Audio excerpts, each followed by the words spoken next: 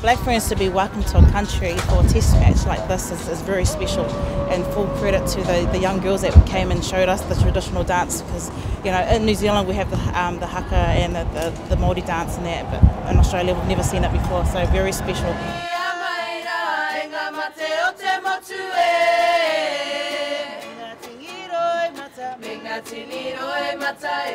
Us Black Ferns, we love to give back and we, you know, we do it for the kids. We want to try and inspire young girls and to see young girls come out and show us their culture, like in the country that we've just landed in, is, is very emotional for us. And um, we were holding back the tears. They just showed us what you know what Australian culture is, and we wanted to show them a bit of um, the New Zealand culture as well. Um, and they'll see more on Saturday when the haka comes out.